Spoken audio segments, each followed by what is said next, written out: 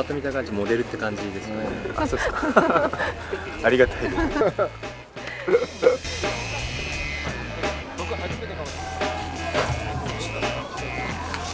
でここでもうぴったりさせてあげる。ピタッとするのもそうですね。もらいますとにかく細み細く見えるように細く見えるようにスタイリッシュにでもちょっとでも見えたらまああそこのようにポンって盆栽置いとってみたいんですこういうところに植物をズボッてこう入れてみたり。これでもズボッと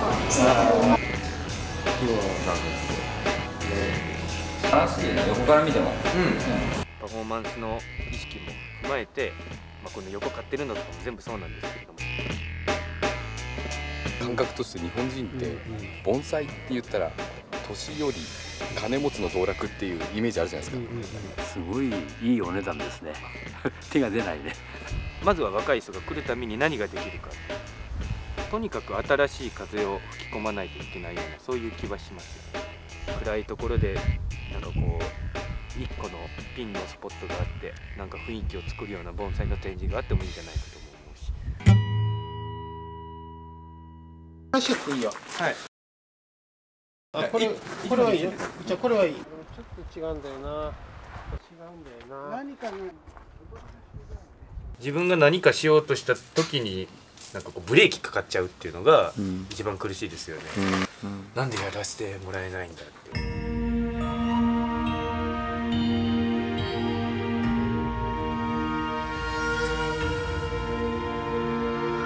まずは武者修行ですよ自分の腕試しが腕がどこまでできるか。とにかくやれることは全部やる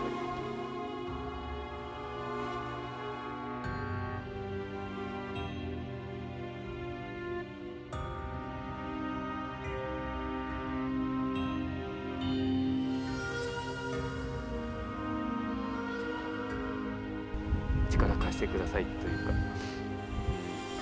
あ見守っていてくださいなんですかね。行ってきます。気合入れて。はい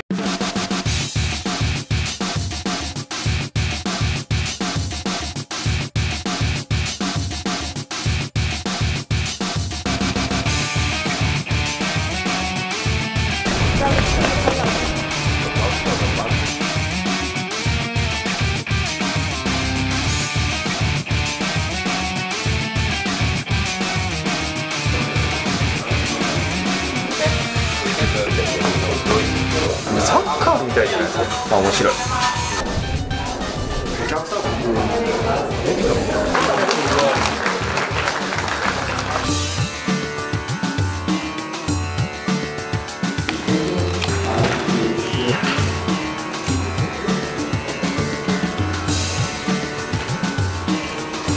I'll show you the how to enrich the bonsai. This